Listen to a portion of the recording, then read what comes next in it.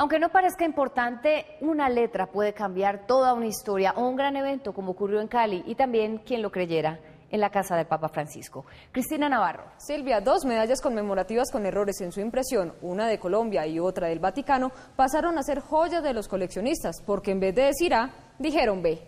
Todo salió perfecto en Cali durante los Juegos Mundiales excepto por una letra. En vez de la palabra world, mundo en inglés, en las medallas quedó tallado el término word, que traduce palabra.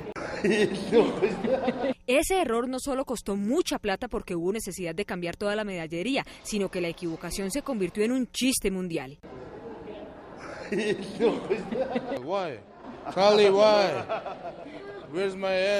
Pero los caleños se consolaron porque de los errores de ortografía ni siquiera se salvó la Santa Sede. Gracias tante por el saludo. El Vaticano quería celebrar por todo lo alto el inicio de la era de Francisco con una medalla papal acuñadas en oro, plata y bronce, pero una palabrita le sacó canas. Gritate Jesús, Jesús, fuerte. En vez de decir Jesús, quedó tallado Jesús. La equivocación puso a correr a todos y en tiempo récord se retiraron más de 6.000 unidades que fueron distribuidas por la prestigiosa Casa de Moneda Italiana, que también tuvo que pagar bien caro el error. Preghiamo tutti insieme a la Madonna. Pero de estas equivocaciones los coleccionistas son los más beneficiados porque cada medalla de los Juegos Mundiales de Cali y las papales son hoy un tesoro y pueden costar un ojo de la cara si es que alguien las vende.